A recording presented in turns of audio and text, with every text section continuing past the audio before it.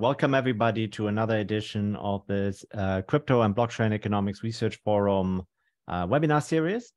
Today we have a symposium of two exciting papers. The first one being on decentralized trading and decentralized exchange design, and the second one on DAO governance. Now, um, just a, a, few logistical items. We have the chat disabled, but we have a Q&A function. Uh, and you can ask a question in the Q&A so that um, you know the speaker could answer them um, at some point later in the talk. I will be monitoring the Q&A and in most cases we'll be asking the question to the speaker. Um, and we have two co-authors in the room who may uh, take some time to potentially answer some of these questions in the Q&A too. Um, so uh, other than that, uh, this is a symposium where we have two papers. Uh, each paper gets 45 minutes. So our running time is from now to 12.30. Um, each paper will be presented over roughly 30 minutes. Um, the speakers have asked the speakers to take two short pauses where uh, you as the audience can ask them clarifying questions. And then we have an extended Q&A session. Now, the way we do this today is that both papers will be presented back to back. and we ask for the larger Q&A to be held at the very end of the webinar. Um, but if you have clarifying questions, as I said, you can ask them between. So without further ado, uh, I would like to introduce our first speaker, which is Matheus uh, Javier uh, Ferreira. I hope I get the name right. And uh, he will be talking about credible decentralized exchange design via verifiable sequencing rules. Uh, Matheus, the floor is yours. Thank you. Uh, just share.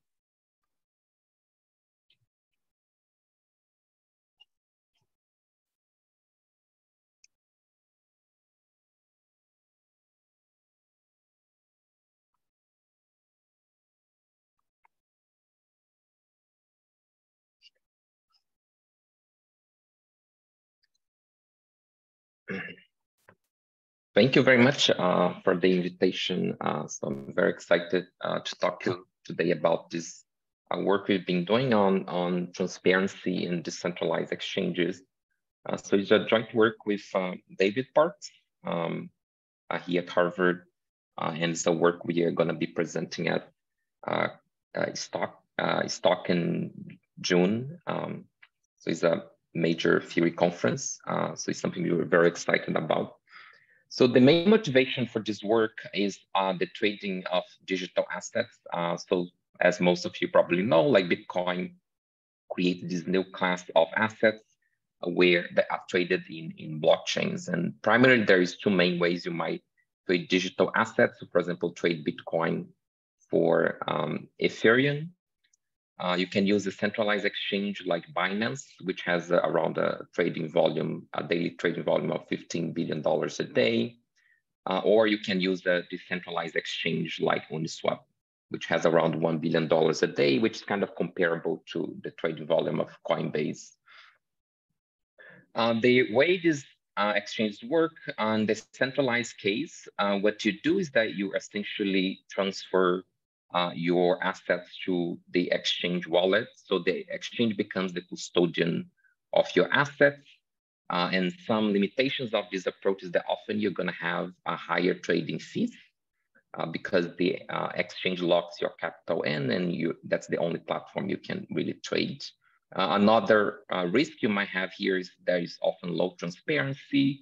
so a classic example is the FTX uh, collapse last year, which was one example of a centralized exchange that uh, they lost their customer uh, funds.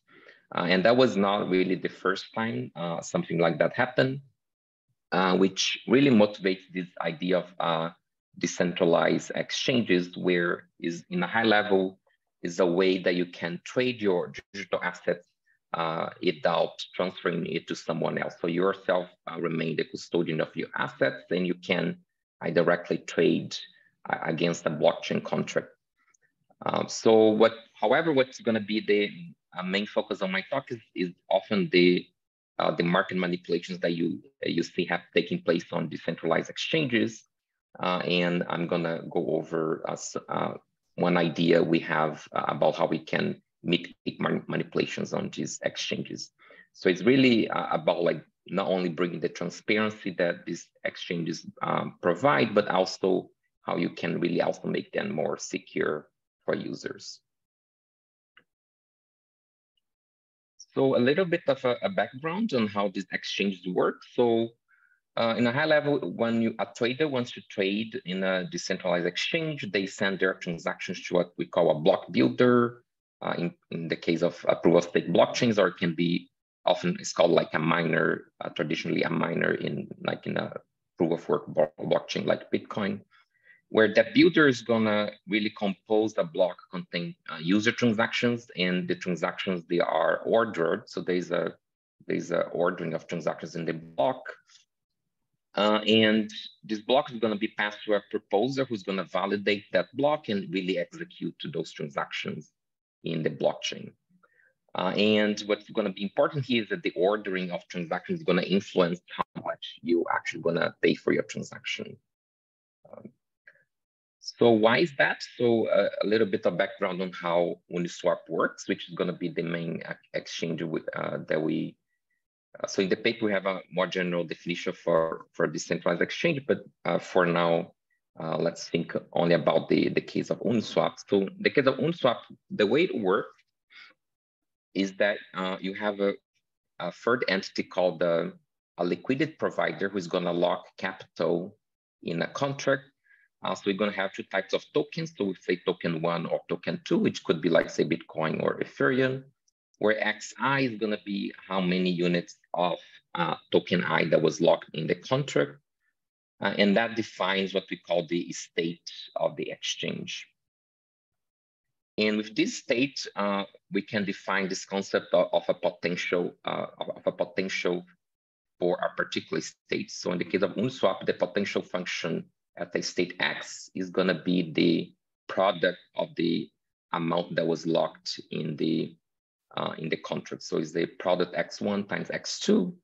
And the way that a trade is going to take place is that you can purchase a Q units of token one as long as the payment that you provide, the payment P, uh, preserves the potential of the of this uh, the potential of the exchange. So, so in a now in practice, what happens is that we define this idea of a of a curve, with a curve is is in a mathematical sense is a, as a level set of this potential function, and you can you can trade on this curve. So you're always whenever you want to you can like move the state of the exchange for any other state as long as you, you remain on the curve.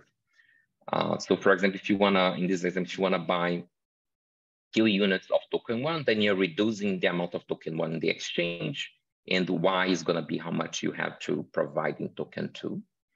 Um, so another example, if your state was instead of X1 prime here, so you're withdrawing Q units of token one, then the uh, Y, uh, the YX gives you how much you have to deposit so that you remain on the curve. So, so just show you how the state you are in the curve really influences how much you're gonna pay.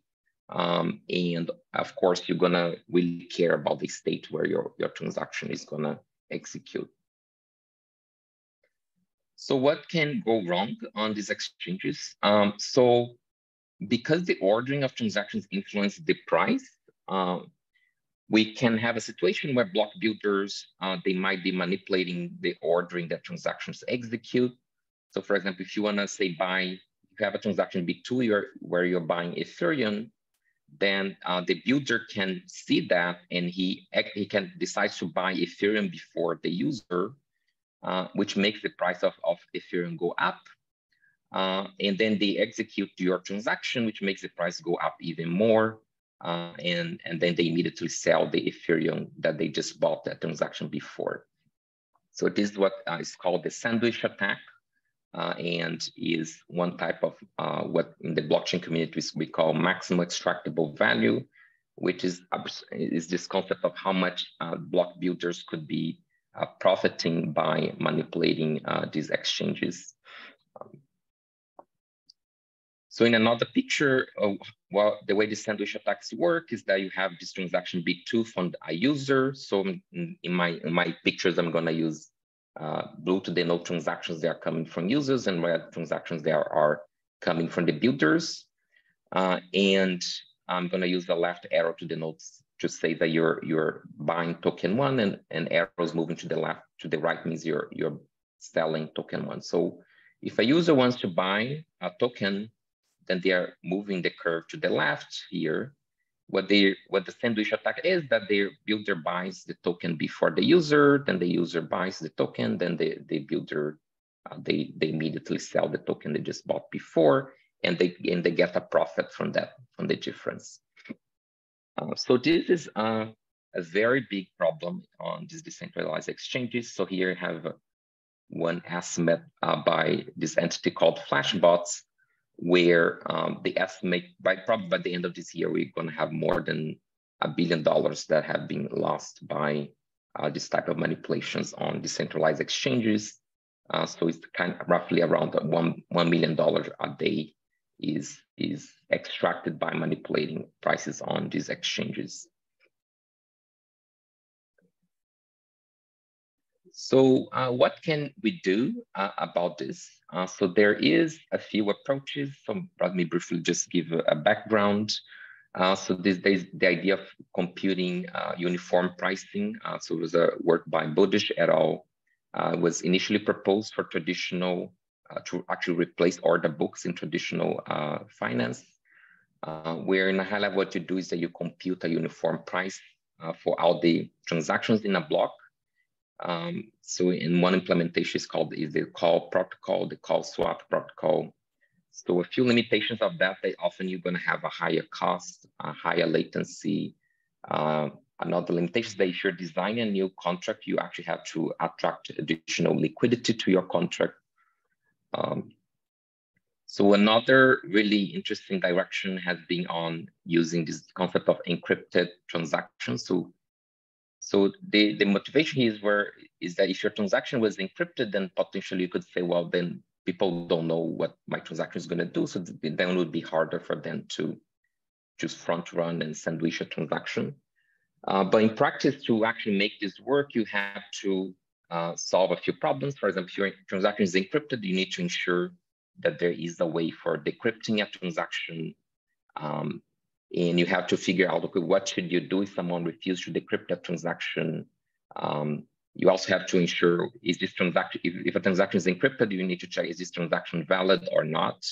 Uh, so those are questions you have to answer to uh, actually make these protocols work and that has been uh, one of the main challenges uh, in, in the area of encrypted uh, mempools one uh, direction that received a lot of really what's the the main solution we currently have is this idea of using a, a trusted relay service like Flashbots Protect, uh, which is a service that essentially uh, promise that they are not going to front run user transactions. And that's going to really be the main focus on, on of my talk. Um, so any questions so far?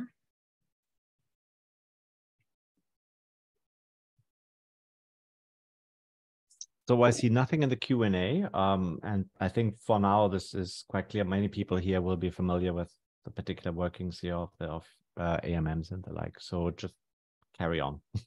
Thank you. So a little bit of a, a backdrop to this idea. Uh, so there, when we are when we're going to be when I'm going to talk about this idea of decentralized exchange, I often be talk about this concept of credibility, where uh, users are hoping their, their transactions are going to execute in a fair way. Uh, and this is actually a broader uh, research uh, agenda, not only for exchange design, but other types of mechanisms. So for example, in, in auctions, you might be worried about a seller mani manipulating prices in auctions. Uh, so it's, it's, a general question of how we can design algorithms when the person who's going to be implementing your algorithm might be someone that's economically motivated. Uh, so, so it's some agenda is an agenda that I'm being very interested about and is the reason I, I got interested in this decentralized exchange design because uh, for the user's point of view, it looks like there is a lack of credibility on, on the current solutions. Um, uh, but this is how I, I want to just mention that there is this problem of credibilities go beyond the blockchain domain. And even in the blockchains, like you also probably heard of transaction fees mechanisms that's in that in that context is also a big concern that you should ensure your transaction fee mechanism would incentivize miners to not manipulate the, the, the, the transaction fee of the protocol. So our solution is going to be as follows. So it's going to be kind of similar to what the way Flashbot Protect works, where what we're going to do is that we're going to have a sequencer. It's going to be uh, one special block builder, and this block builder is going to promise that they are not going to front run and manipulate user transactions. Uh, the difference though is that Flashbots Protect is kind of is, is only based on trust. Like they don't provide any way for users to really verify if that promise is really um, being satisfied. And so now in, in, what we're gonna focus though is we're gonna ask, okay, can we design sequencers that can be audited, audited by users? Um, so the sequencer is gonna essentially be a function that's gonna be getting uh, user transactions.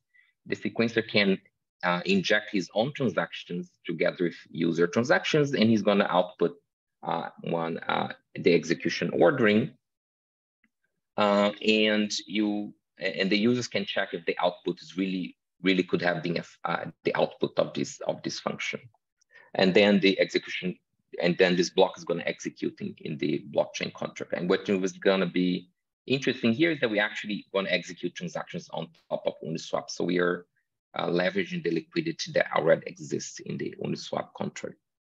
Uh, we are just simply changing the interaction between users and the blockchain contract. We are thinking, okay, can, how can we change the interaction between uh, traders and the blockchain so that that can make it uh, make these protocols more transparent for, for users. So our main result in this work was that we showed that there is a sequencer that ensures that for any user transaction that is included in a block, then the price they would be getting would be at least as good if their transaction was the only one executing. So for example, if, if transaction B2 was the only one in the block, or uh, the user might be getting a worse price, but provably uh, the sequencer or nobody actually gain from that. Like nobody gains by executing the user transaction. So the equivalent statement here would be is if your transaction was, if some value was extracted from your transaction, then the price you're going to be getting is going to be at least as good as if your transaction was the only one executing. Um, okay, so what is our sequencing rule that we can actually achieve this, uh, this dream uh, solution? So first, let me formalize the model we're gonna be working on. So each transactions, they're either gonna take one of two forms. They're either buying a token one or they are selling um, a transaction by uh, a buy order specify that you wanna buy Q units of token one and, and specify the min, uh, the maximum you're willing to pay. Uh, equivalently, a sell order is uh, specifying how much you wanna sell uh, in token one and uh, the minimum you wanted to receive in token two for as a payment. And for this talk, I'm, uh, as I said, I'm going to be assuming we are trading against the Uniswap uh, product market maker. So a formal definition of what a sequence verifiable sequencing rule is. So a sequence rule is essentially a function or that maps uh, a state of the exchange before any transaction execute uh, and um, and a collection of uh, a collection of transaction or a set of, of transactions to a non-empty collection of orderings. So it maps a state in a set of transactions to a to what we call valid orderings. Uh, as I said, the sequencer can add or censor transactions from the set. So he can, so some of these transactions can belong to the sequencer and there's no way for you to know which ones are, are, are coming from the sequencer, which ones are coming from users. Um, so the sequence is free to manipulate the input to this function as he wants. Uh, so for practical reasons, you want this sequencing rule to be efficient, which means that you should have a efficient way to actually find uh, one ordering on this collection, right? So this, this just, if this is not true, then you really, this is not a practical uh, sequencing rule if you cannot compute a, a valid ordering. And importantly, it needs to be verifiable, which means that if once a user sees um, the execution ordering that comes out of the sequencer, they should be able to check if the execution ordering really belongs to this um, uh, to the to this valid collection. Uh, again, in polynomial time. So one uh, strong notion of uh, security you might want from a sequence rule is for the following. You might want it to be MEV proof, which essentially means that there is no uh, ordering such that the sequencer could be extracting some uh, non-risk uh, risk-free profit, which essentially means that by ex executing some ordering, uh, he could not, you should not be able to um, end up with more tokens that he had in the beginning. Um, so in this, our first research in this paper was actually to show this this very strong security guarantee was impossible. You can you cannot do it. Uh, so there's always for any essentially what we say is that for any state X and for any um, uh, uh, sorry for any for there is a, essentially we say there is a state X and there is a set of user transactions which would ensure that the sequencer could be getting a non-risk-free profit. So the example is the following. So the proof sketch uh, I'm giving here is consists of this instance where we have three identical buy orders and three identical sell orders where your the buy orders are buying two units of token one and the sell orders are selling one in unit of token uh, one. Uh, and the proof in a high level, what you do is that you you pick any ordering of transactions you don't specify which one belongs to the sequencer or not. And later on, you show that there is a, if this, there is a way to assign some of those transactions to the sequencer uh, such that you would be getting a risk-free profit. Okay, so for example, here you have one particular ordering, and then you say, okay, uh, if this was one valid ordering for the sequencer, then if you assign the first buy order and this, uh, these sell orders in, in red to the sequencer, then you would be making a risk-free profit. So you essentially what you can do, then you, you enumerate every possible ordering and you show there is always a way to assign um, uh, transactions for the sequence that, so that he's getting a risk-free profit. So now let me uh, give you what the verifiable sequencing rule that we uh, that gives our positive result. Um, Uh, so what we do is that, okay, recall the input for this sequencing rule is the initial state in, in the transactions that we have to sequence. So what we, the algorithm is going to do is that we're going to partition the set of buys and sells that have not yet be, been sequenced into groups, the set of buy and the set of sell orders. Uh, and the output of the algorithm is the execution ordering, which is initially is going to be empty. And I'm going to give you an algorithm how we can construct the output. Uh, so what the algorithm does is that while we still have buy and sells that have not yet been uh, sequenced, uh, you're gonna simulate what the state of the exchange would be after the transactions in T, uh, in capital T have been executed. So XT is the state after the transactions that have been sequenced already have been uh, executed. And you see, okay, if there, if the amount of token one in the contract is bigger than would be in the beginning of the block, which essentially just is means uh, for um, for exchanges is that the price of token one is going to be uh, cheaper at state xt than it would be at state x0. Uh, which means that if you execute a buy order at this particular state, that buy order is getting a better price than you would be getting by executing in the, in the beginning of the block. And what our sequence rule says, well, at this point, you should execute any buy order. So the sequencer can only execute buy orders at this point. Uh, otherwise, uh, you should execute a sell order. Uh, and sell orders would actually get, be getting a, a better uh, price than they'll be getting by executing the block. So in this phase, transactions that are sequenced during this phase, they're actually going to be getting a good execution price. So the next phase that you might reach a point where you don't have buys and sells anymore, and, and you and then we say we, we can sequence the remaining transactions as you want. Um, so you let the sequencer sequence the remaining transactions as you want. So here one example um, uh, for on how this works. Um, and later I'm gonna go quickly over this example again. So let me just uh, give you an intuition why this sequencer removes uh, manipulation in price. So recall the example of a sandwich attack where we have uh, we have a user wants to buy a token uh, and the, what the sandwich attack is, is that the sequencer buys the token before the user and then they, they execute the user transaction. Uh, and this execution ordering is not valid under our sequencing rule because once the user, once the sequencer tries to buy a token one, the sequencing rule says that they, they because you still have out buys and sells that have not yet been executed after you execute transaction T1, then you say that the next transaction to execute can only be a sale order. Um, so this, is, this would violate the sequencing rule. So if you have a, the sequencer tries to execute a buy before the user, then they have to immediately execute a sell, and that just cancels out their transactions. And then we sequence the transaction of the, of the user.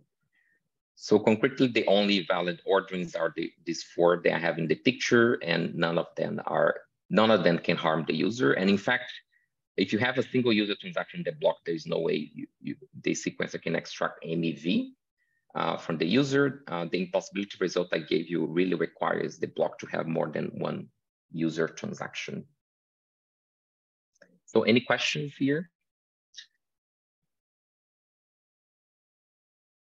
I think I see one. There we go. So we have a question in the Q&A. Um, so uh, Justin Grana asks, uh, he couldn't type fast enough during the first pause. And so he wants to just quickly ask here, um, the, the question is, wouldn't the profits from the builders be uh, competed away?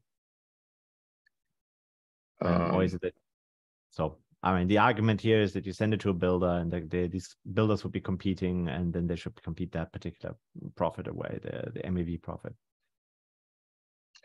Um,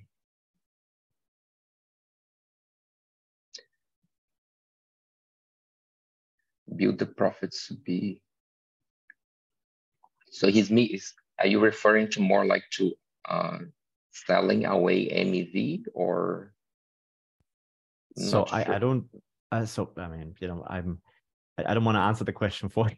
Yeah. but I imagine that uh, that Justin believes that you can build that you can choose the builder. Um, mm -hmm. I don't think that's the case, right? So the builder essentially gets selected either at random or the builder takes an existing mempool and builds out of that mempool, right? So the builder, you can choose your builder, um, but uh, yeah, there's currently there's many builders, uh, and you can choose your builder and your. Uh, but what we really focus here is on how you can really check if the builder you choose is not manipulating your transaction or the price you're getting. Um, so then there's another question that we have here from Bohu Zhang, which is why don't we just do uh, one trade per block? Also, do you consider gas priority for your method to avoid front running? So one transaction per block would work, um, but it's probably, yeah, like it's probably is gonna, people are not gonna be very happy with that solution because you can just trade, like agents cannot, essentially it's just gonna be very expensive to trade if you can only execute one transaction per block but that would work. Um, for our solution doesn't have gas costs because the sequencer is computing off, outside the blockchain. Um, so there is no cost in gas. Um, so let me uh, quickly conclude. Uh, so can I can I actually ask you a question? Yeah. So since I'm since yeah. since I'm the the the, yeah. the man here. Um, so in this particular case, for your verifiable sequencing rule, you need you, you have a relatively strong informational assumption, which is that you know the state of the contract before uh, when when you're when you make your put your transaction in, right? Um, and in many ways, this is akin to saying that you can limit the slippage to exactly the price impact that your individual trade would have had uh, because that's essentially the same thing as the verifiable sequencing output there. So would this also apply, does your result apply when you don't actually know what the state of the contract is at the time when your trade executes? And is so that this, assumption? Yeah.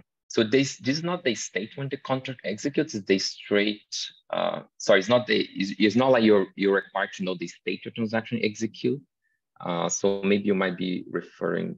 So it's essentially the state where on the beginning of the block before your transaction execute. Uh, so the idea here is that when the builder is going to build the block, he's he doesn't he cannot manipulate the initial state uh, many blocks ahead. Um, and given the state in the beginning of the block, then we use that as the benchmark so that he can, um, if he can, if he could not have manipulated the state in the beginning of the block, then we can use that as a benchmark for the execution price for the user. Um, but the user doesn't need to know beforehand what that state is going to be. Does that answer your question? Almost. So when there are other transactions in the block that were, let's say, legitimately uh, sent before this one, um, in this particular case, so suppose I have two identities. I'm an attacker. I give myself two identities as the as the block builder, right? And I take mm-hmm. these transactions. I take I take actually the sandwich attack as it is, mm. um, and make them legitimate transaction. Would that a way to be a way around your your mechanism? Because no, yeah, here doesn't. Yeah, here he could he can have, be having different identities. It doesn't matter. Like this, yeah, it's not. Uh, we are we don't use ident we don't rely on identities. Um, so, like for example, I don't want to I don't want to hog the conversation, so maybe I yeah. should just let you con conclude. yeah, thank you. Um, so let me skip this. Um, so I kind of the proof kind of almost follows by the algorithm. Um, the only uh, kind of tricky part is when you reach a part, the, the, the, the last part of the algorithm when you you don't have, you only have buys or sells left, where essentially the argument there is that this, the sequencer, if he's trying to inject his own transactions there, then his transaction is actually going to be the first one executing in that phase uh, any any transaction that executes in the in the end of the algorithm of any user transaction that executes in the end of the algorithm, the the adversary would not have incentive to execute any transaction after the user. Uh, so that's the high level idea. Um, in here, have one example of why uh, our sequence rule is not MEV proof. Uh, and you and the idea is that on average, this buy order is paying a, a, a higher, uh, is paying a, uh, a lower price than the price that the adversary is selling if he owned these two sell orders here. Um, so to conclude, uh, so we give, uh, we first we give an impossibility result on how we can design uh, deterministic sequencing rules. Um, and we show that there's always a way that the adversary could be profiting. Um, but our positive results give a way that how a service like Flashbots Protect could be betting their reputation. They could be betting their reputation on using something that's verifiable and protect the users. So I think that there's an interesting direction about thinking how these uh, services, they could be becoming more transparent and really be betting their reputation by using algorithms that are most transparent for users. I think there's some interesting open questions. Uh, so this work only applies for exchanges that are have a pair of two tokens like Uniswap, uh, but there is other exchanges that uh, they pull together more than two tokens. And uh, it's an interesting question if you can generalize these ideas uh, for that setting. Uh, our impossibility result only applies for deterministic rules. Uh, so it's an interesting question. What can you do if you have randomness? Um, since I also showed that there was impossibility result, an interesting question is, can you actually compute the price of anarchy, which is essentially how much could the sequencer be profiting, uh, even though they are, we are proving, providing uh, predictable guarantees for users, you can ask how much can this sequencer be profiting by manipulating uh, the, the execution ordering. Um, so thank you very much. Um, and looking for questions again in the second phase. Well, thank you so much, Matheus. Um, we're moving straight on to the next paper and then do the general Q&A after uh, uh, Jungsuk has presented his. So Jungsuk uh, will be talking about DAO governance. Um, and uh, I'll leave the floor to you.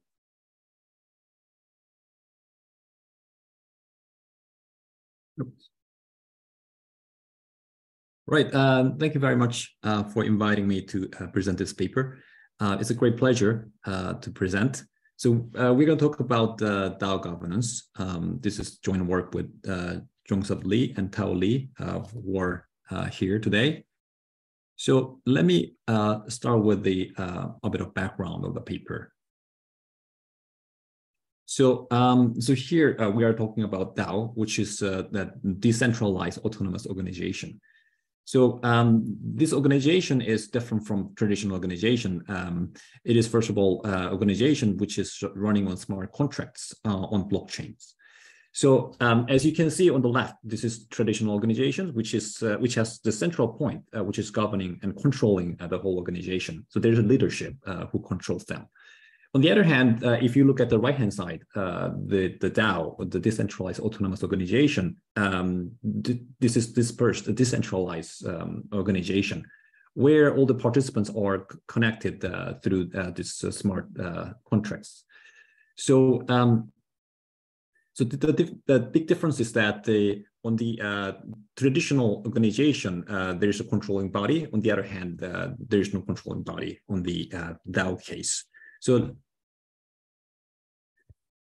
so the, um, um, the, the potential benefit of that is that uh, it, it, could uh, actually uh, this bottom bottom up approach uh, can actually um, collect within crowds more efficiently, and then uh, it could be more transparent, and then it can be more democratic uh, compared to the um, traditional corporations, which is having the central controlling point.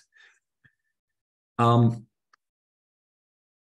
so this DAO, uh, kind of this new type of organization, uh, has been growing very fast. Uh, for example, uh, only 2022 uh, alone, uh, it has tripled in terms of its number, and it is growing very fast, even as of now.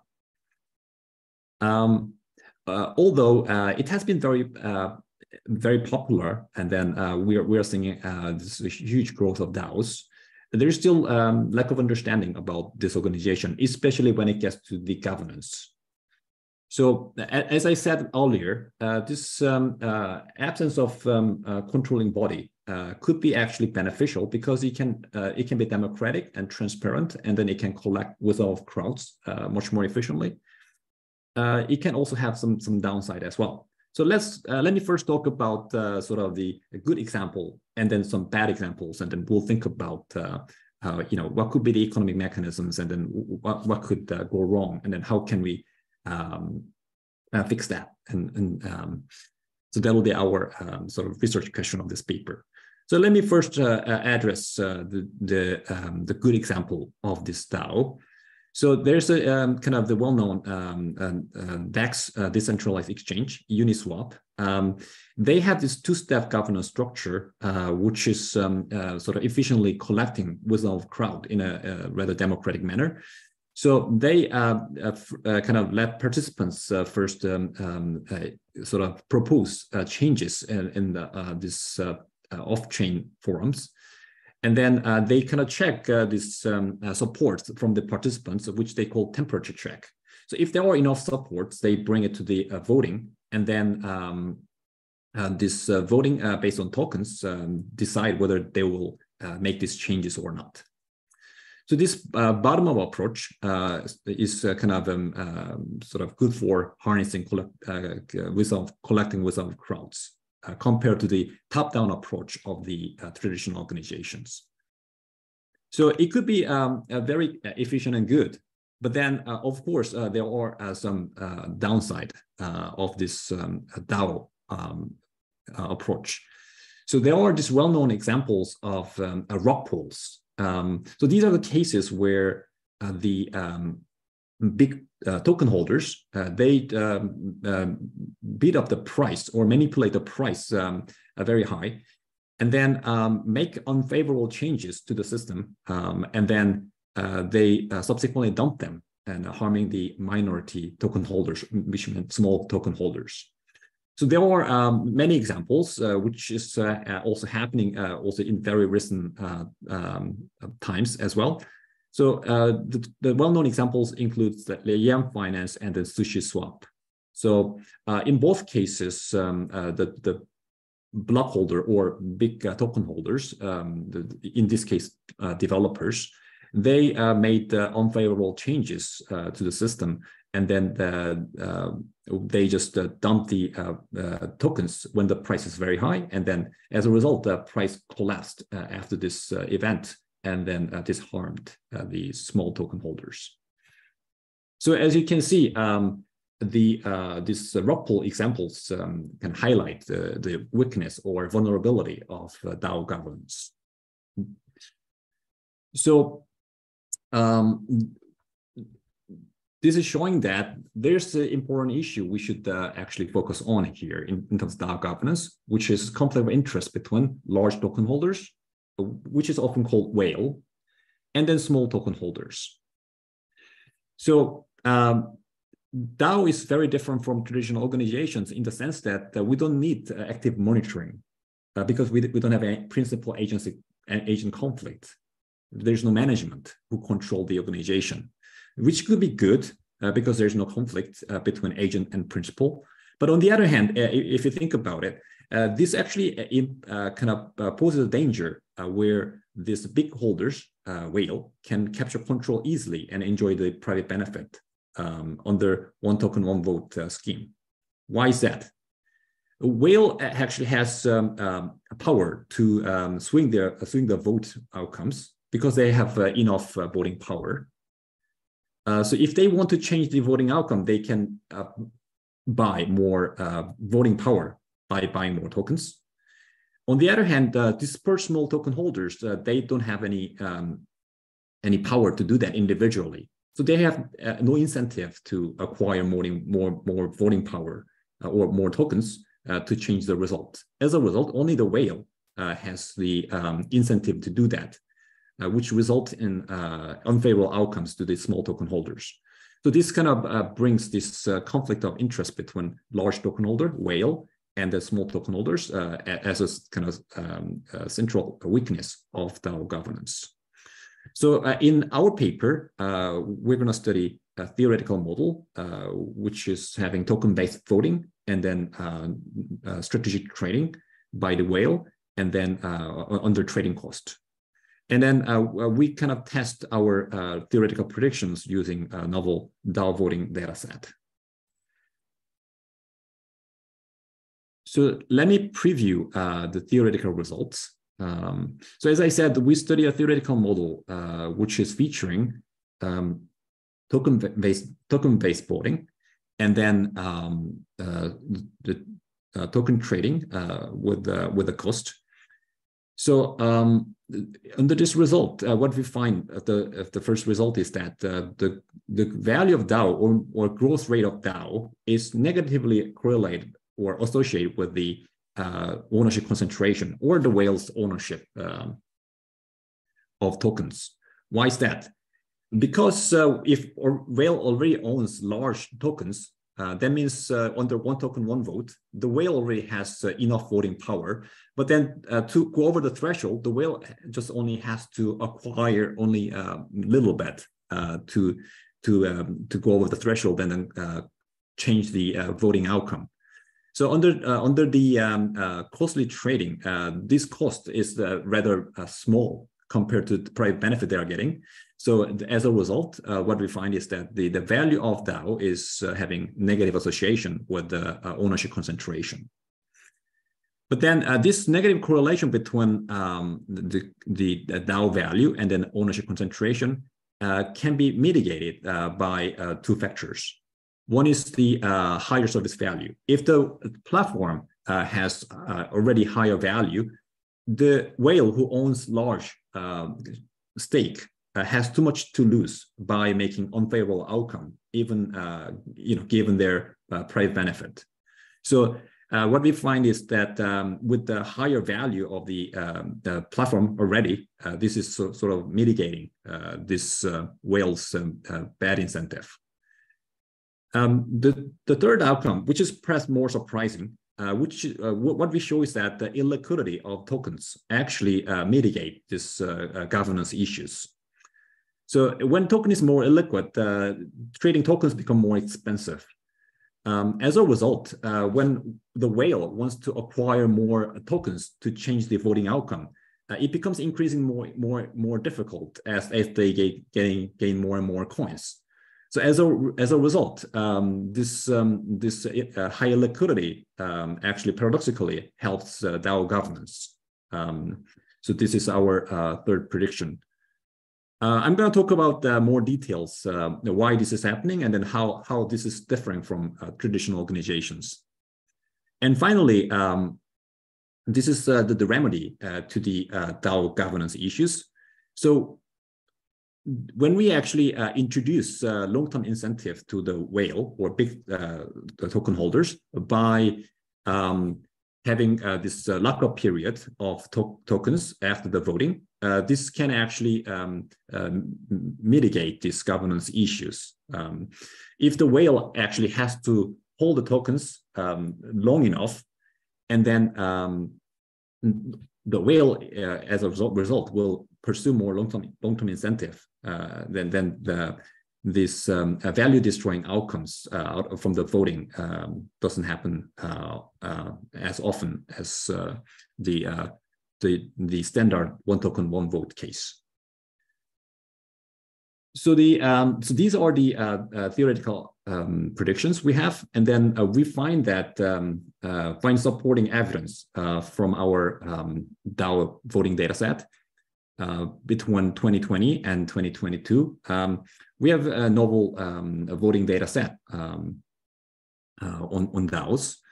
So um, we measure uh, the, uh, the, the value of DAO uh, using total value locked. Um, so this is me measuring the activities of um, DEX.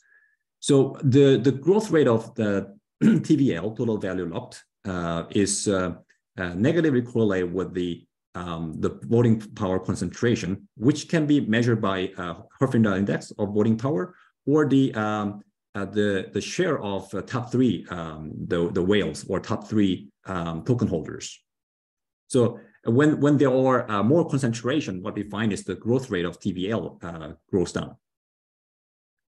Um, and then uh, our second prediction uh, is saying uh, when they have more stake to lose, uh, this this is going to mitigate uh, the um, this uh, uh, negative association between concentration of ownership and then TVL growth.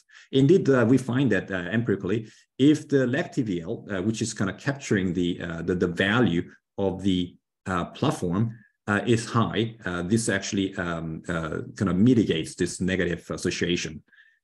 And and the third, um, when we um, kind of um, uh, introduced the illiquidity of tokens, uh, which is the trading cost of uh, tokens.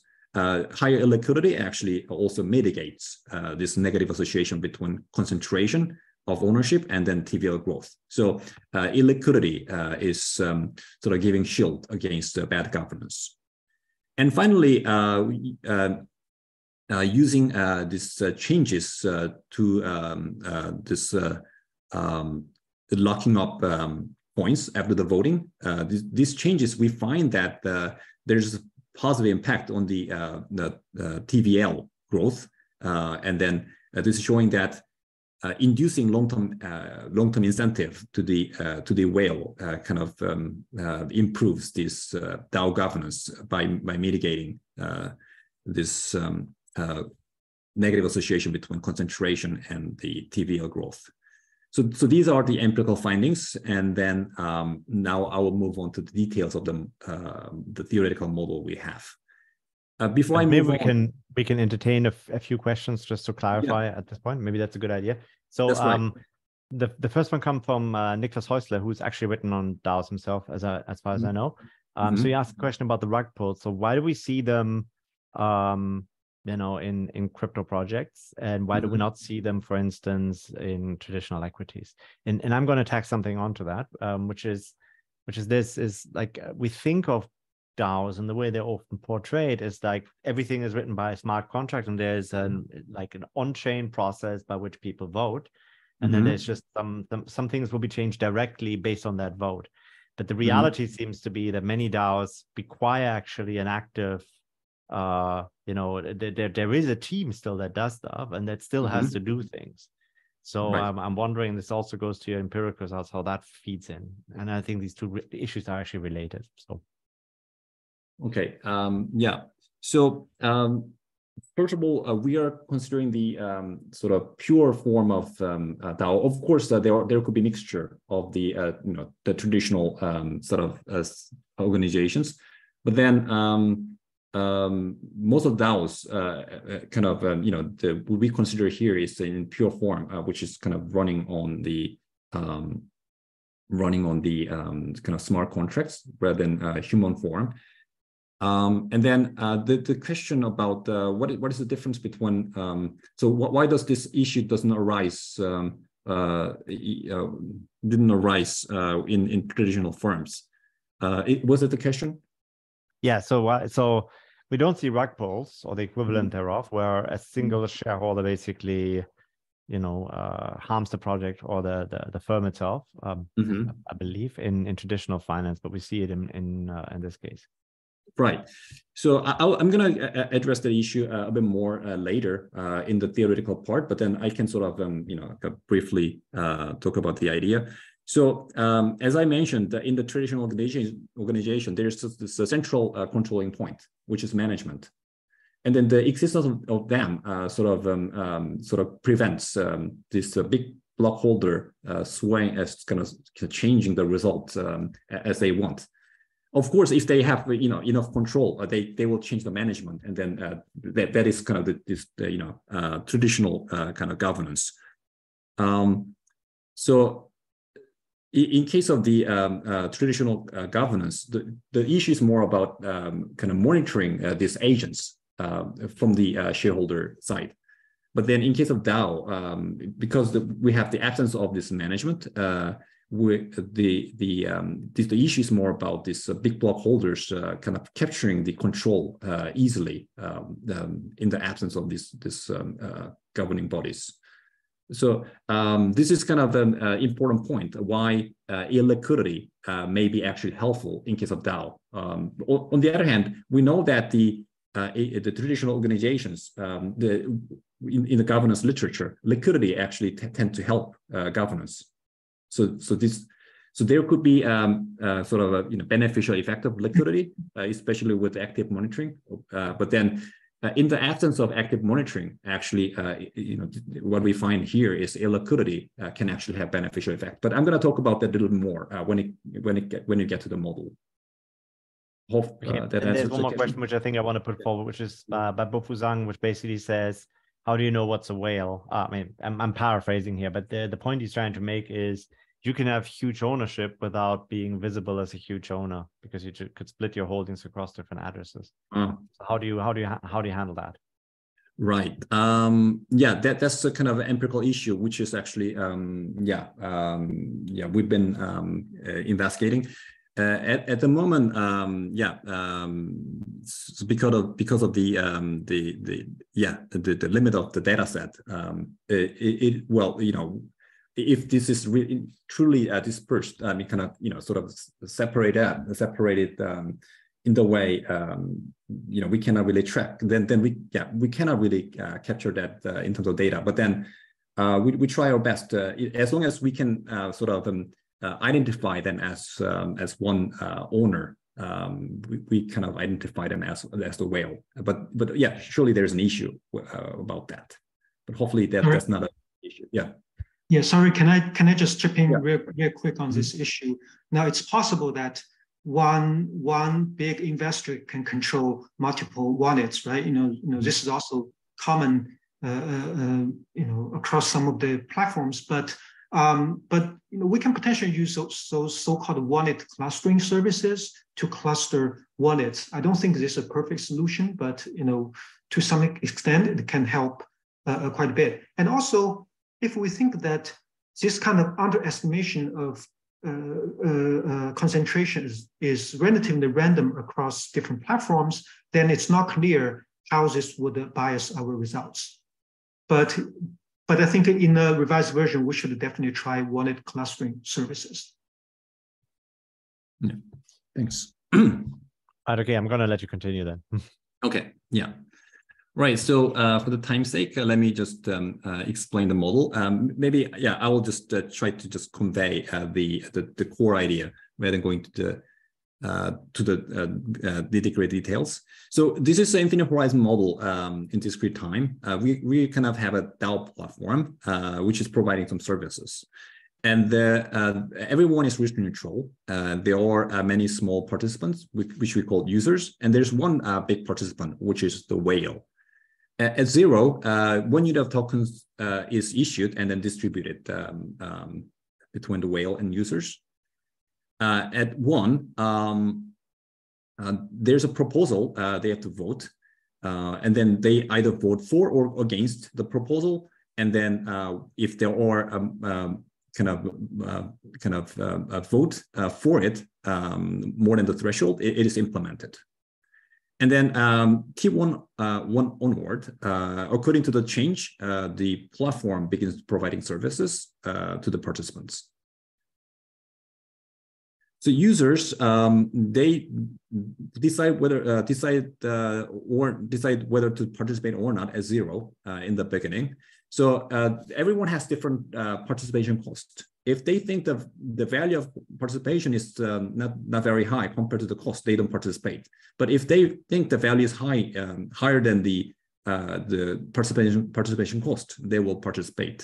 And they are kind of um, you know infinitesimal, and then they are they're competitive. On the other hand, the whale um, at, at, zero, they already uh, receive uh, some unit of uh, tokens. You can think of them as a developer or some some you know uh, some some um, entity with some special interest. And then um, uh, they uh, need to liquidate uh, by some horizon, uh, final horizon, big T. Uh, this is their kind of the time of exit. So this kind of reflects the short-termism uh, they have. They could be some investors who, who have sort of exit time, um, which is sort of um, already imposed. And then the, this this is kind of big kind of player. therefore, they kind of act strategically in terms of trading. So um, uh, there's this one unit of tokens. Uh, and then when any participants hold, uh, let's say, X unit of tokens, uh, they get utility, uh, which is A and X. What is this A? A is the technology component, but then A of small a. So, so the small a is the um, decided by the the voting outcome. It, depending on the voting outcome, this technology component could be high or low. And then N is the number of participating users. Uh, this is which is kind of capturing uh, the network effect of participation. This is kind of a typical assumption uh, in the uh, in uh, platform literature. And then X is uh, the ownership of tokens. So if this is the kind of utility flow to the participants, what's, what's going to happen is um, uh, the uh, intrinsic value of the tokens is uh, simply present value of these utility flows. Uh, as you can see, P of A, this is uh, kind of intrinsic value, which is um, just present value of AN every period. but then to get this utility flows, they have to trade the um, tokens and then trading tokens is costly. And we assume quadratic or, or convex trading cost, which is um, often justified by the um, illiquidity uh, or, or transaction cost, like let's say like Kyle model. But we just take a reduced form uh, to for the simplicity of the model.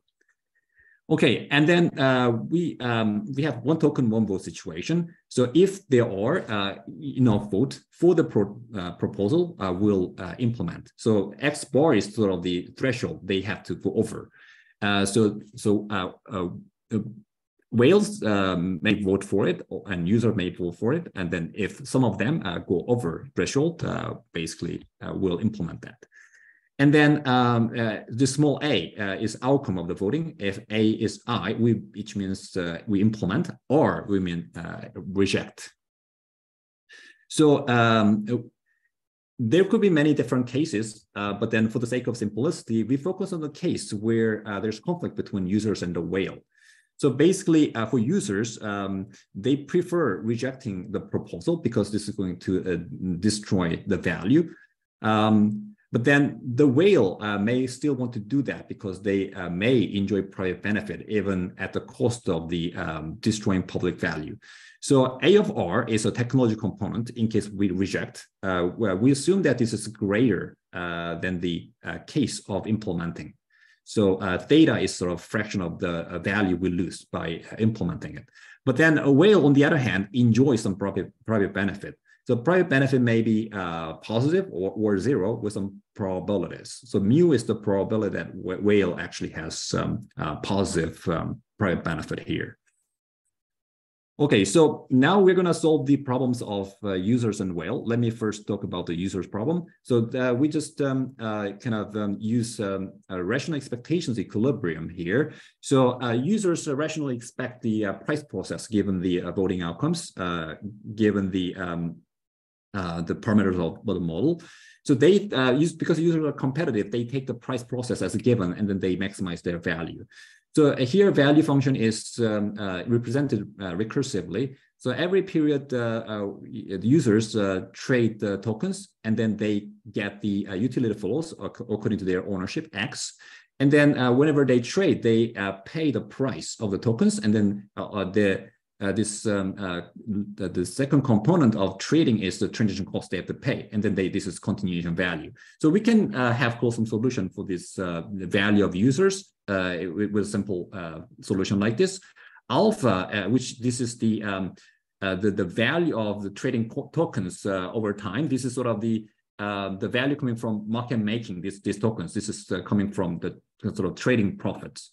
On the other hand, this X is the kind of the current holdings. And then beta is the per unit uh, kind of intrinsic value, which is uh, actually the, the token's intrinsic value given implementation of uh, this action A.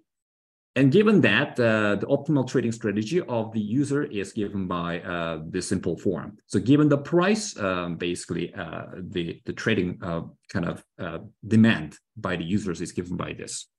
Okay, so the uh, um, given this, they, we can actually get the inverse demand function of the users, and then using the market clearing condition by the users and the whale, um, we can actually get the uh, price function as the trading volume of the whale. And then uh, given that, what's going to happen is whale's uh, effective trading cost uh, actually has two components. One is uh, price impact component that coming from their strategic trading, and then the uh, transaction cost. So effectively, uh, whale's transaction cost is actually sum of these two components. So we're going to call it lambda W compared to uh, just lambda, uh, which is the, the, the transaction cost uh, for um, the, the users. So uh, Whale's going to solve um, a kind of similar problem, but in this case, um, Whale actually is a strategic trader, and then Whale actually thinks about uh, also uh, kind of the accumulating voting power to to manipulating the voting outcome. So uh, we, we solved this problem. Uh, so basically at T1, we do voting. And so we're going to first solve about solve the, uh, the case with T2 after the voting. And then when we solve the problem, we have this uh, kind of simple closed-form solution. So the value of the whale is given by the intrinsic value of the token they hold. And then the second part is the uh, trading cost uh, for, for liquidation because they have this big T uh, sort of exit period before that, they have to uh, kind of uh, liquidate the asset. And then, like in Kyle model, they're going to just split their uh, or you know uh, demands, uh, order flows uh, in small pieces so that they minimize their trading cost. So in the end, um, they have this trading volume, but then this depends on how much time they have left. When they have very small time left, this transaction cost increases. When they have more time left, they will split their trading volumes in small pieces. They have lower trading cost as a result. So this is the outcome here. And then uh, finally, we solve the uh, value at one uh, when they uh, do voting uh, for, for the whale. So uh, in case the whale implement, they enjoy the private benefit, but then their intrinsic value is lower because they destroy the value. And then trading cost is coming in two pieces. One is trading cost of acquiring more, more coins to go over the threshold. And then subsequently, they have to liquidate all those coins. So they're going to have um, a much higher trading cost. On the other hand, if they don't implement that, of course they don't enjoy the private benefit, and then but then they have higher intrinsic value uh, because they uh, don't destroy the value. But then trading cost also goes down because they don't have to acquire more coins. So uh, it's really trade off trade off between having private benefit uh, and then uh, in, you know having other costs. So delta V, which is the, the wedge between uh, this value of implementing and not implementing, is um, trading off private benefit and loss in intrinsic value and um, the incremental trading cost. So if this is positive, the whale will uh, implement the project uh, proposal. Otherwise, uh, will reject. Okay, sorry. Um, so um, um, we, uh, what we find is that this uh, wedge um, is increasing in uh, ownership of uh, ownership concentration. If the whale already owns a lot of coins, uh, tokens already, and having this uh, marginal um, tokens to change the voting outcome is not that costly. So therefore, it actually increases with the, um, the, the concentration of ownership. On the other hand, if we actually have a, a lot of value to lose, this is going to mitigate this um, uh, this motive of the whale. And then also if the, the lambda trading cost increases, this is also going to uh, mitigate this impact because the, the whale, for the whale, uh, getting more and more coins becomes tokens becomes more more costly um, uh, for for manipulating uh, the, the, the voting outcome.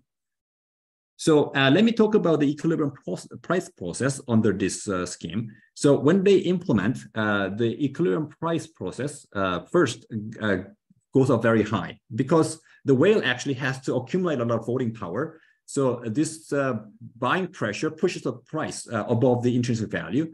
But once they manipulate the result, subsequently they're going to just dump the, uh, uh, the, the tokens uh, to exit. So by the time they exit fully, the price goes back to fundamental value. But then you see the price pattern. Once first it goes up very high, then it goes down uh, dramatically and then uh, eventually recover back to intrinsic value. This is kind of typical pump and dump or rug pull uh, sort of incident uh, price patterns.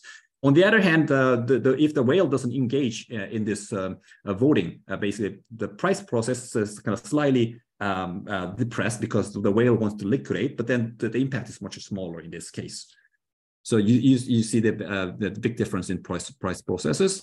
And finally, I'm going to close the model by um, solving the, the uh, this participation of the users. So users are basically uh, expecting these outcomes um, uh, if they think there's a, a more possibility of whales uh, destroying the value by manipulating the, the voting outcome, they will participate less. If they think whales not going to do that, they will participate more. Therefore, uh, the, the, the total value of the uh, platform is affected by um, the possibility of the um, uh, this whales um, uh, um, adverse incentive. So, so th this gives us um, uh, the, the, these two propositions gives us um, our three predictions. First, uh, higher ownership concentration, distributive value. And the second, uh, if there's more service value to be lost uh, by the whales adverse incentive, basically uh, uh, this negates this uh, kind of bad outcomes because the whale doesn't want to lose this public value. And third, uh, higher liquidity actually uh, helps also mitigating this uh, bad governance by the um, by the whale. So let me address the issue which was asked before. So basically, we kind of verify this triangular relationship between platform value and token ownership concentration and token trading. So what, what we find here?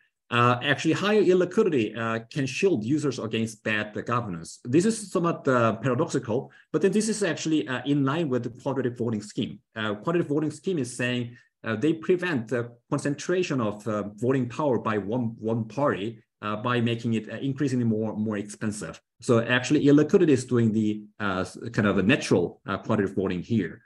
So this result uh, actually uh, also hinges on the uh, DAO's uh, property. It doesn't really require active monitoring. In the traditional governance literature, we actually know that uh, higher liquidity can help governance. Why is that?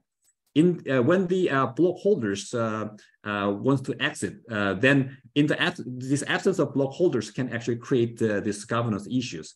But then if there's a higher li higher liquidity of the um, of the equities, uh, these uh, new new block holders can emerge uh, rapidly. They can kind of um, accumulate the enough voting power, and then they can control the management and monitor uh, them. So therefore, uh, actually, liquidity can help um, um, sort of in traditional uh, governance because of this monitoring issue. But then we don't have any monitoring issue here, so there's no benefit of, about that. Therefore, actually, here illiquidity can act, kind of act as a shield against these bad governance. So we have benefit.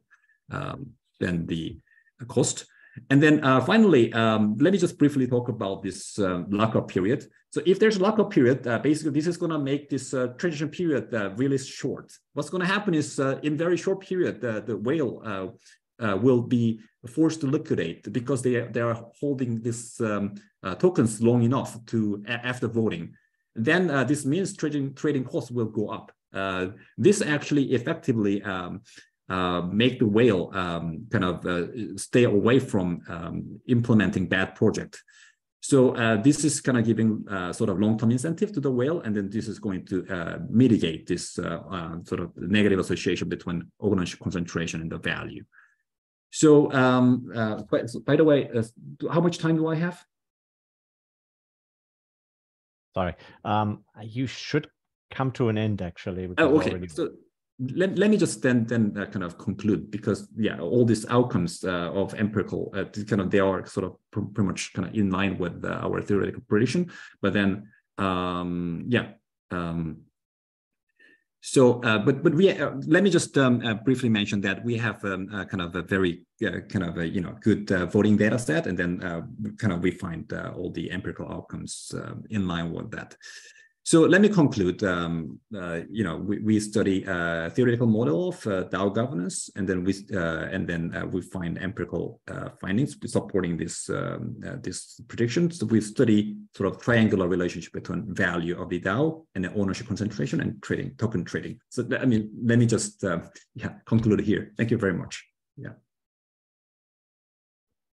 Well, thank you so much. Um, and, and thanks to both speakers for their excellent presentations. Um, we now have time for the open Q&A.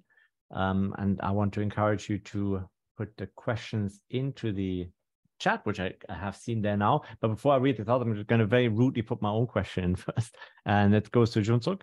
So yeah. just, just to be clear, um, in your data, how can you differentiate uh, the possibility that, for instance, there is a single? I, mean, I, don't know enough about the particular DAOs that you picked, but I tried to allude earlier to the problem that in in many cases there's actually uh, centralized control in some form, right? Uh, I mean, there's the votes which can be decentralized, but then the execution still has to happen by an entity, a person, or the like. And so, um, first, maybe you can say something a little bit about the nature of the data or the DAOs that you look at, and secondly, is there in case you can't differentiate, if you don't have a differentiation there, is there any sense in which the lower value, for instance, could be triggered by the fact that a particular DAO or set of DAOs are more likely to be essentially require centralized execution, which creates extra risk?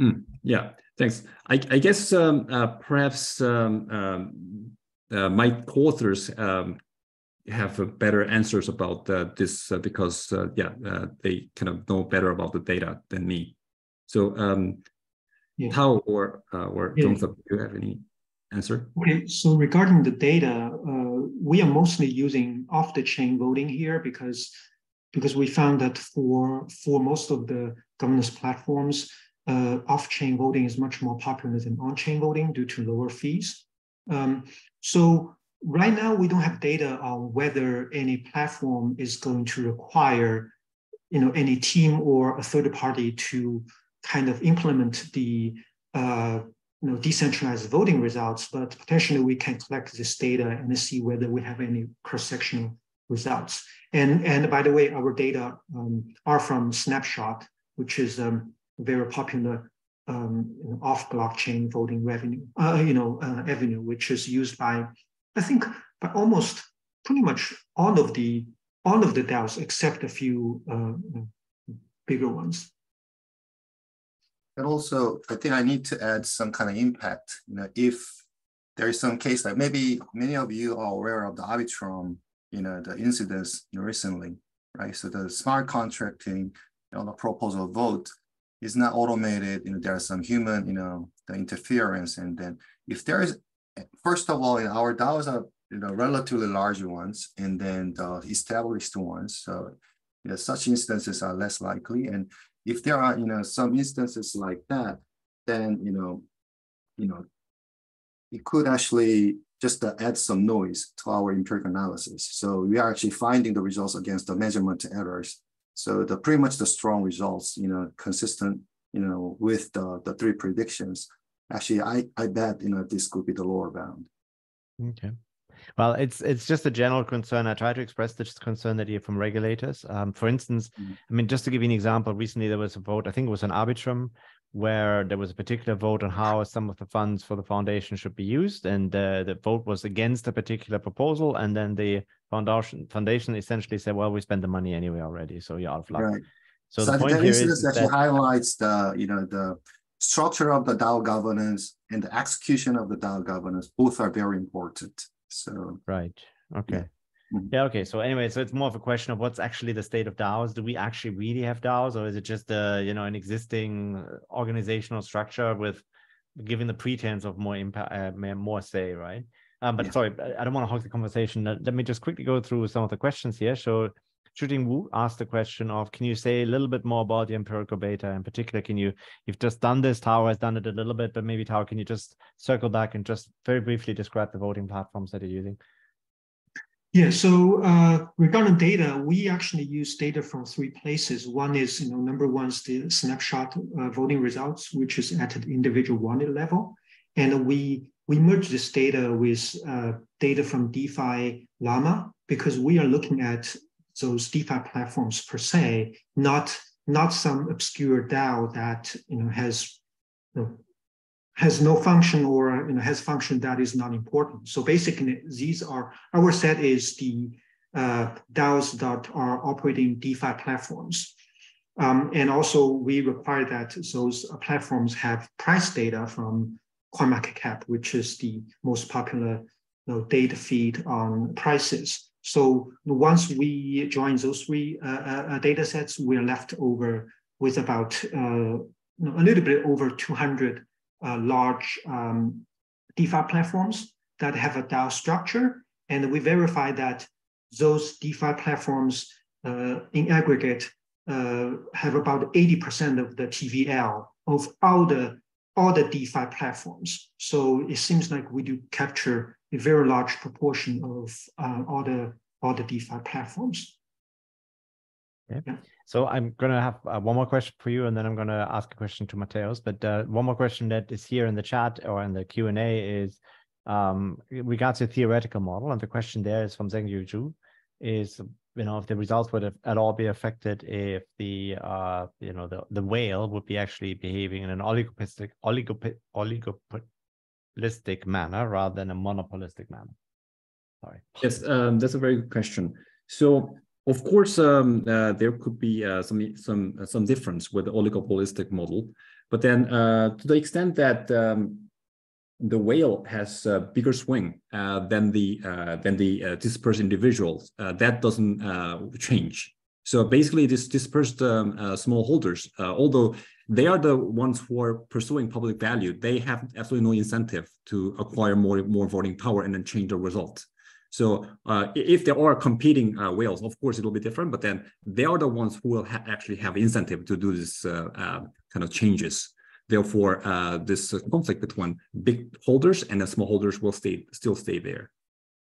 But yeah, but then for further impact, we will of course have to have to in investigate that. Yeah.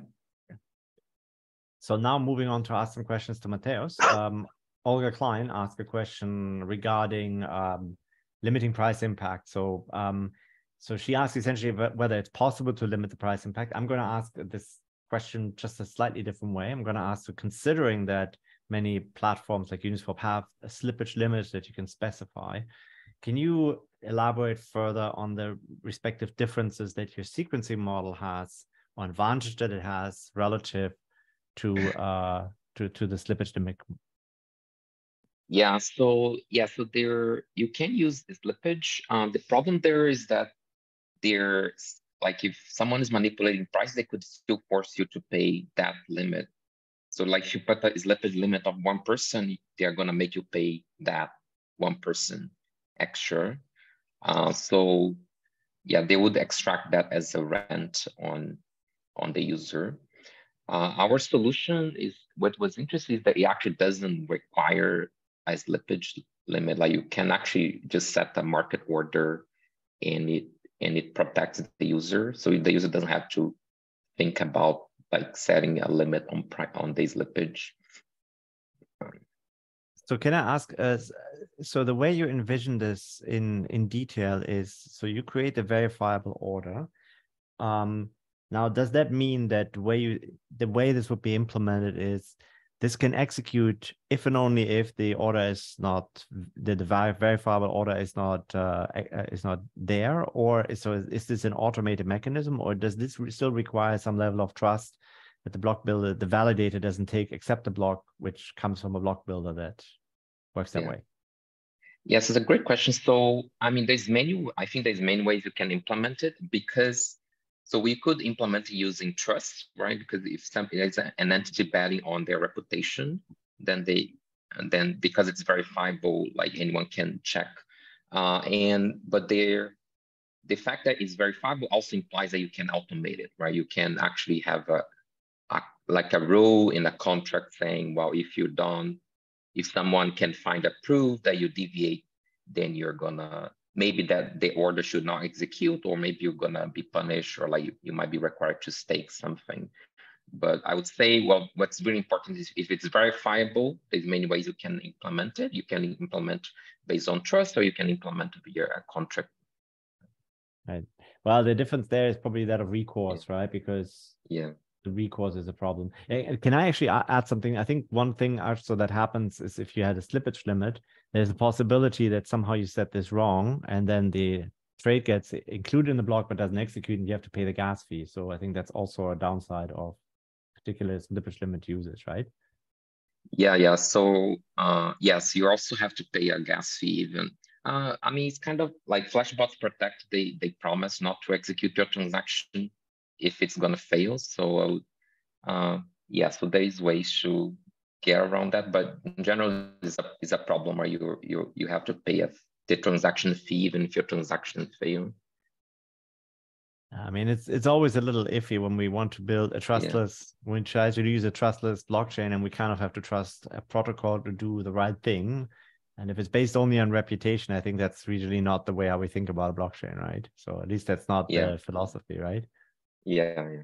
It's not a criticism; it's more of a general statement. Yeah.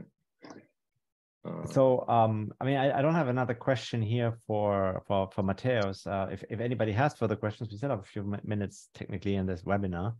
Um, if not, then I would like to go quickly back to the DAO question, or, or Matheus can chime in too if he has. What do you think is the state of DAOs? Where we where are we actually at? Uh, do we actually have DAOs, or is this really just, you know, uh, and and you know, an old thing in in uh, just using a, a new new fancy term for it. So the question here, for instance, is the question of oftentimes it has requires, and I come, keep coming back to this, oftentimes a DAO vote requires somebody to do something.